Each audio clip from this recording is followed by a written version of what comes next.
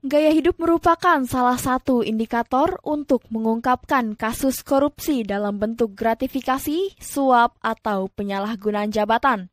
Demikian diungkapkan Kepala PPATK 2002 hingga 2011, Dr. Yunus Hussein.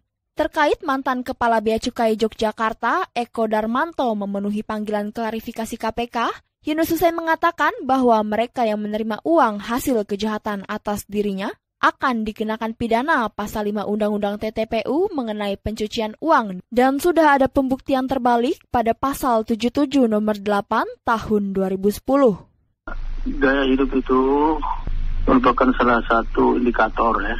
Kalau kita ingin mengungkapkan adanya kasus korupsi dalam bentuk misalnya gratifikasi, suap ataupun penyalahgunaan jabatan. Untuk mereka yang menerima hasil kejahatan, ya ya atas nama dia atau dia manfaatkan dia bisa dipidana juga dengan pasal 5 Undang-Undang TPPU. Undang-undang ini sejak 2002 sudah ada dan sudah ada pembuktian terbalik di pasal 77 78. Lebih lanjut, Yunus Hussein menambahkan banyak kesempatan untuk melihat harta kekayaan yang dimiliki pelaku kejahatan pencucian uang. Salah satu caranya ialah menelusuri sumber dana maupun penggunaan dana itu sendiri. Ia berpendapat bahwa lifestyle merupakan salah satu cara untuk mengetahui adanya hal-hal yang menyimpang.